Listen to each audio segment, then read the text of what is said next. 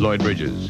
Brenda Vaccaro and Morgan Fairchild rule the world of high fashion. The multi-million dollar playground of paper dolls with you this fall on ABC.